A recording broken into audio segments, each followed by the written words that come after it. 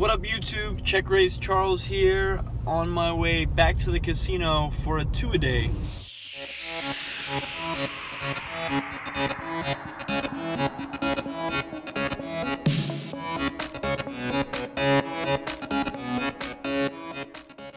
Played earlier this afternoon.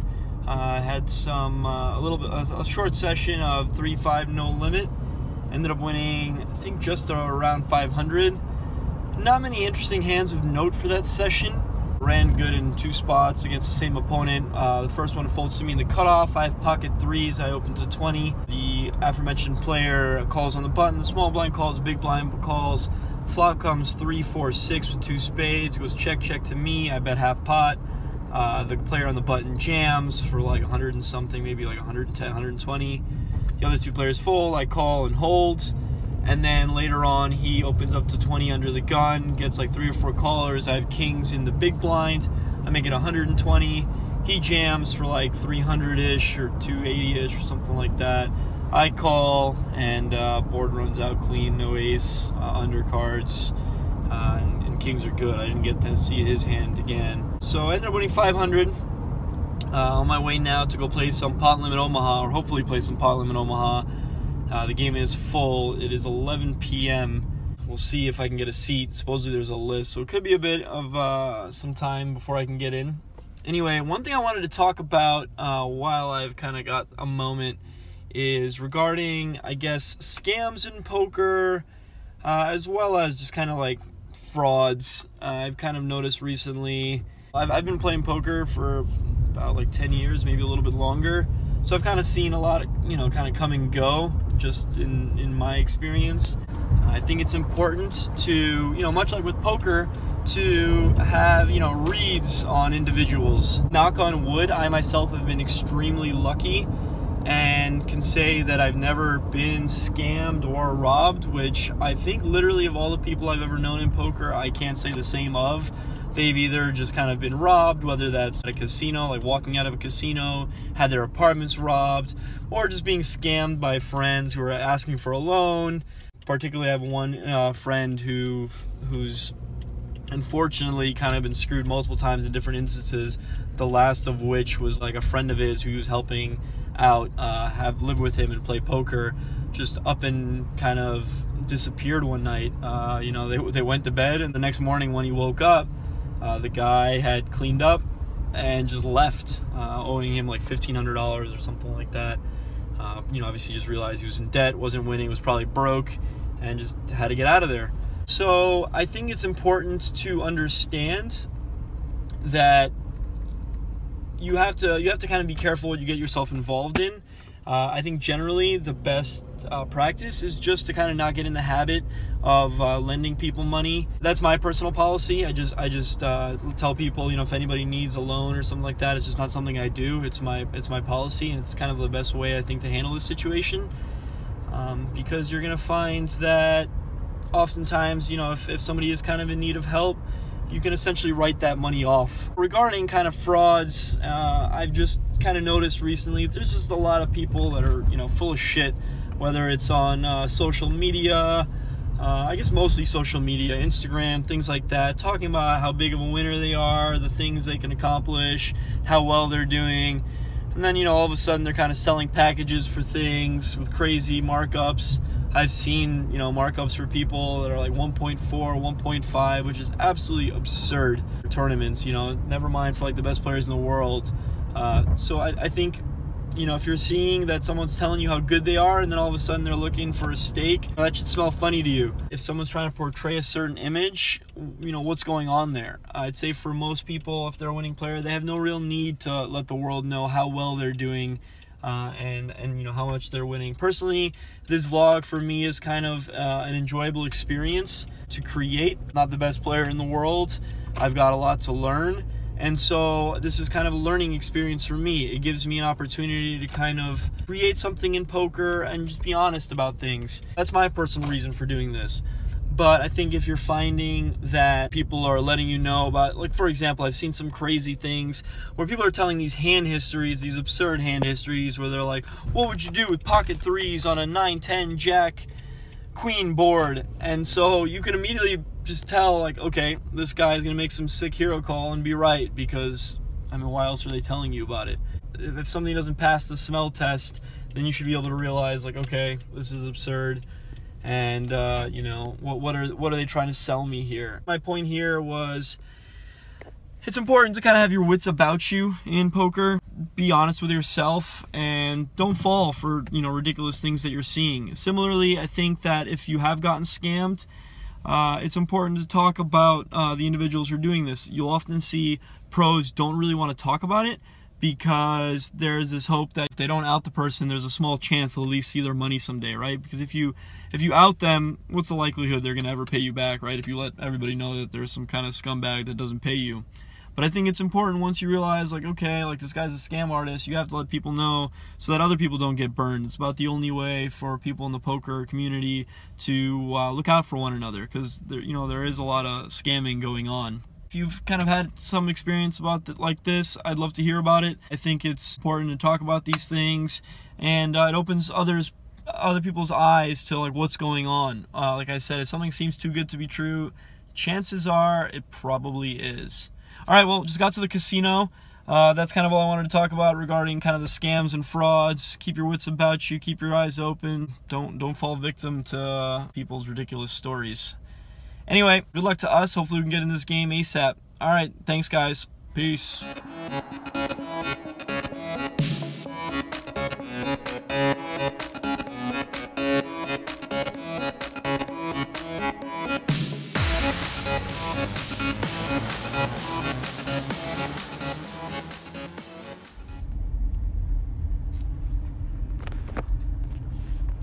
And we are back drive home. It is 5:30 in the morning.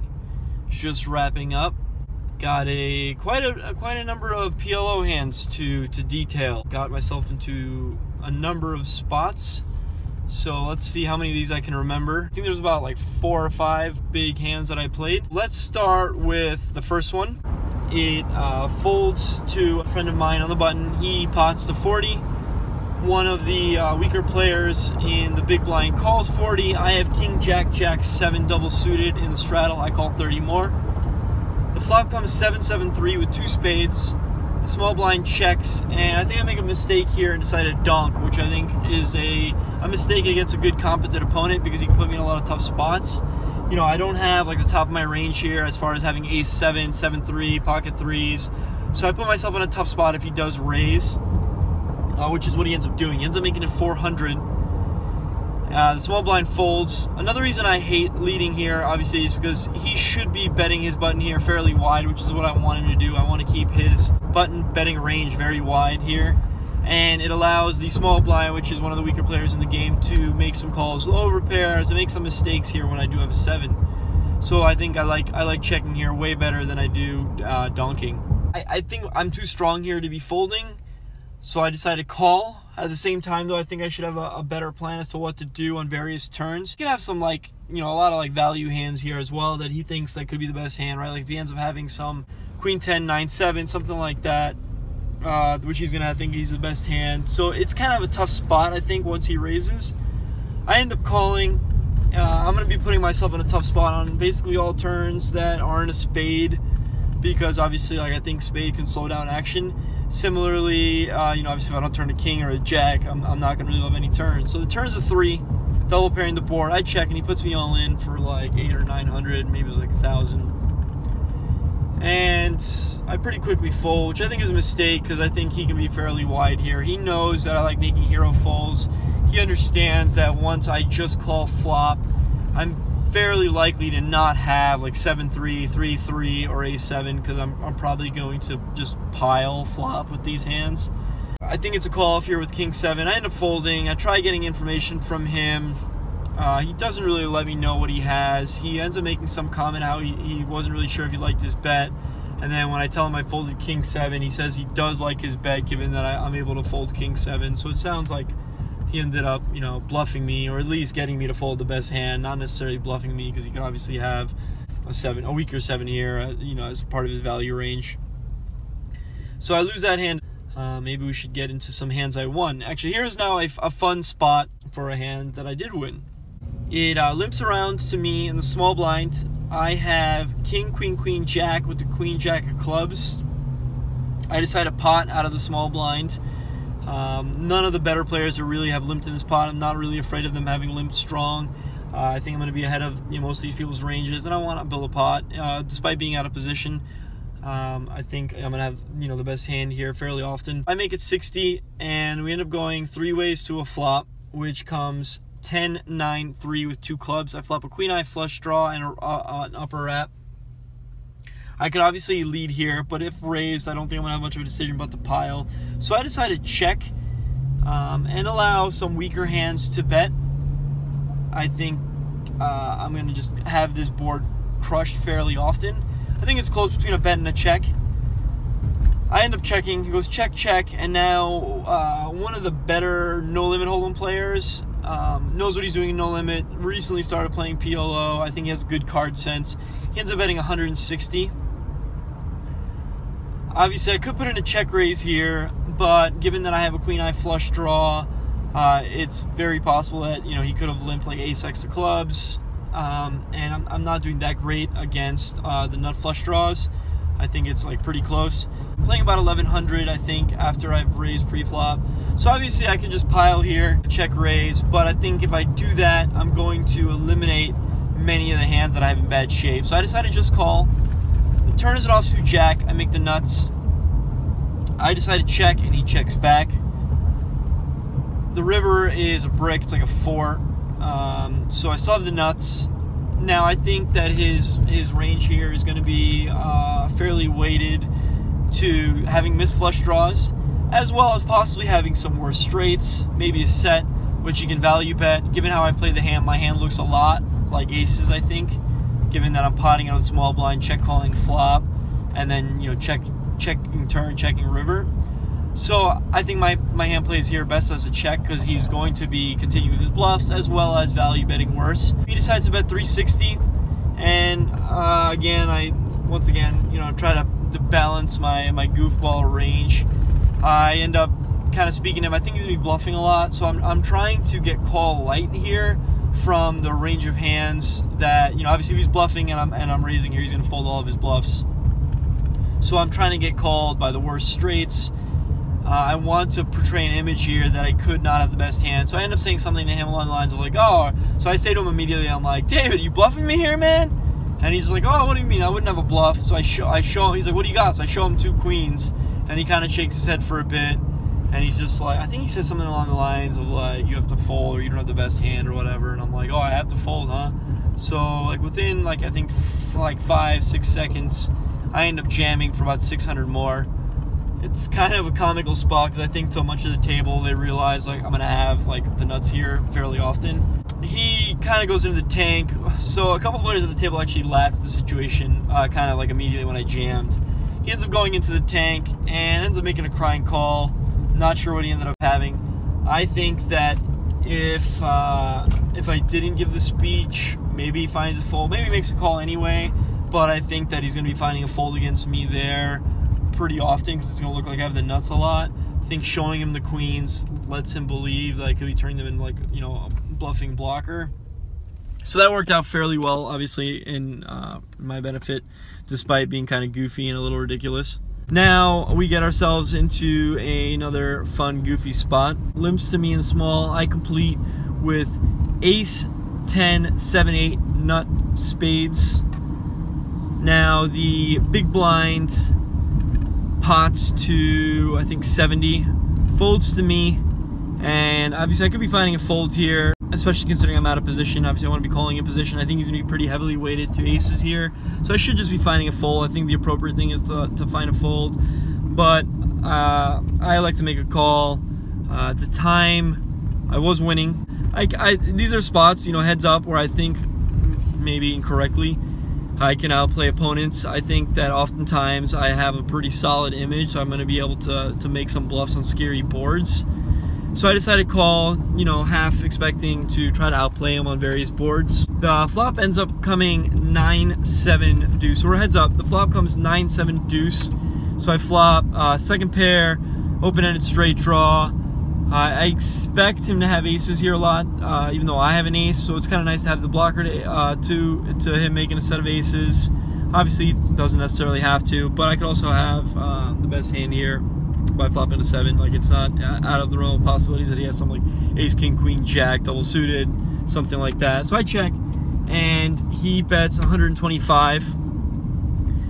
I obviously could check raise here and play for stacks he is playing about 800, but I think if he has aces, he's just never folding.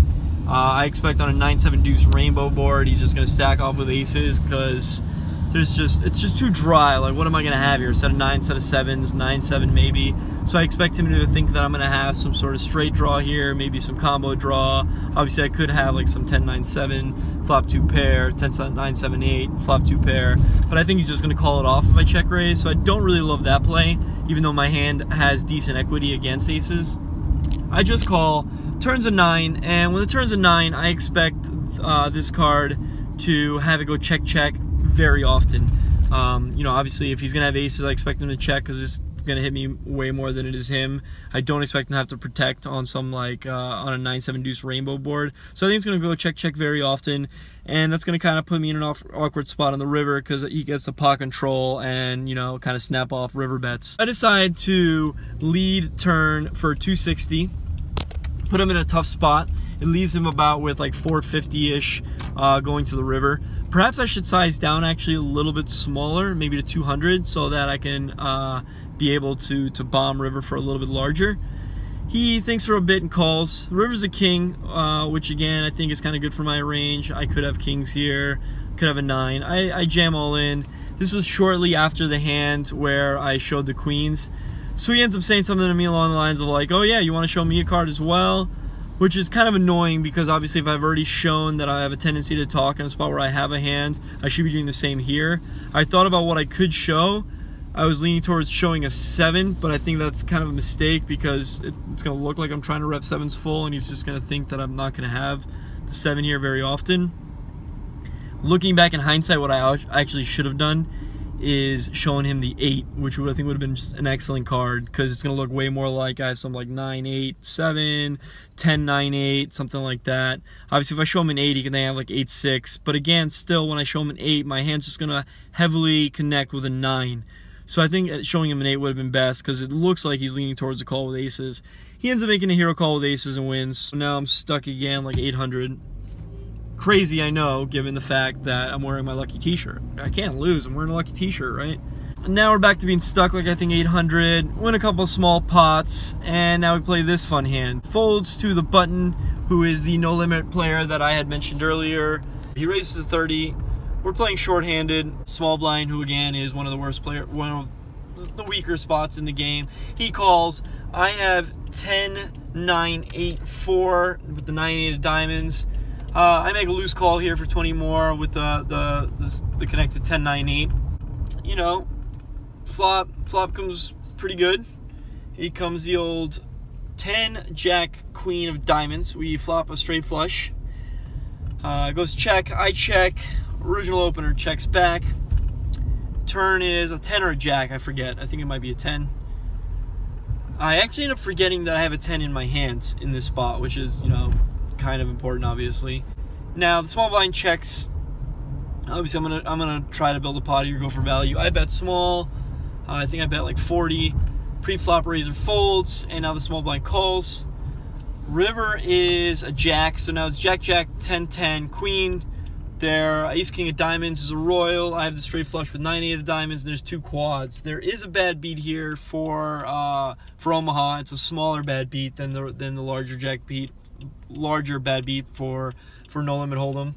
He checks. I think that he can often obviously have here uh, the quads. I forget that I have the 10, so I actually think that uh, you know it's possible that he has 10 quad 10s and quad jacks. So I bet 125. I think and now he check raises to 400 fairly quickly. He has another 700 left, and I'm going to the tank because I'm trying to figure out, uh, you know, obviously he could have ace king of diamonds here. I think when he check raises here, um, you know, he could have the boats. I think I'm gonna have a hard time getting calls from boats. So the question is, the combos of quads versus the combos of the ace king of diamonds. I forget I have the 10, so I count the two combos of quad 10s, quad jacks versus ace king of diamonds. The bad beat I think was like 7k. So if I end up running an ace king of diamonds, I win half of that 7k, 3500. Uh, otherwise, if I end up having the winner, then I get I think like 20% of the 7k. I end up jamming for the the 700 more. He snap calls. I show my hand. Well, no, maybe not snap calls, but he takes like like four or five seconds, long enough where he obviously I can tell that he doesn't have ace king of diamonds, but he still calls fairly quickly. I show my hand and he's like, oh, straight flush. He shows two queens for queens full. Uh, obviously a little bit of a cooler for him, but I think when he once he check raises river for value and I jam, that's a spot I should just be folding. I'm, I'm you know, it's not like I'm gonna be jamming queen 10 jack 10 there. There's just too many combos of the quads, the straight flushes. This is PLO. You know, people do make crazy, ridiculous hands. It's not like unheard of to people have straight flushes. I think, you know, he's a little novice to, to Omaha, so he's probably just not used to that. So we end up winning that hand. And uh, that's kind of it for the session. I end up booking a $750 win in PLO, which feels nice. Booked a $500 win earlier today, as mentioned, in Hold'em. It's a pretty solid day. I am a bit upset with how I did play in PLO. It's been a while since I've been playing PLO. I think I made just numerous mistakes. The the King Jack Jack 7 hand I think is clearly a mistake for me to be leading that flop. There's just no reason for me to do that. I want to keep his ranges wide, uh, especially against a good thinking opponent. So I, I hate how I played that hand that's just clearly a mistake. And then the hand, the, the, the, bluff I try to run through, didn't really love that. There were a couple of things I could have done differently. You, most importantly, obviously, I could just fold pre-flop. There's just really no reason that I have to call pre-flop. They're out of position with the ace 10, uh, 7, 8, 1 suit. Um, you know, in position, I think I can make a speculative call. But against the aces specifically, I could be folding here. Um, anyway, that's it we are back home. It is almost six in the morning. Charlie might be waking up soon. Got to get back to bed. You know, again, I think I think I actually played kind of like my C game tonight. Uh, a bunch of mistakes. I think I could have easily won like 2K if I played better today. But instead, you know, we had like the $700 win. So I'm not in love with everything that I did. Um, but that's poker. It's a learning experience, you know. I really believe that a, lot of the function of how I played was just being tired. I felt myself being pretty tired. I was on the fence about going to play. I've been up all day, and this is kind of you know what happens when you know you play poker uh, for a lot of hours after a playing through the morning, and then you know being with your family for a bunch of hours, and then only going back to play again. And so I, I think I definitely played my C game as a result of just being being exhausted and not thinking clearly. Words of the wise, it's best to play under optimal conditions. You got to be, you know, well well rested, have a clear mind. But, you know, even if you don't, you got to have the lucky t-shirt, you know, the lucky Hamilton t-shirt because like I said, when you got lucky t-shirts, you, you can't lose. You can't lose. What what can I tell you? Anyway, thanks for uh, tuning in. I uh, appreciate you guys, uh, you know, checking out the channel and uh, hope you have a good night. Peace.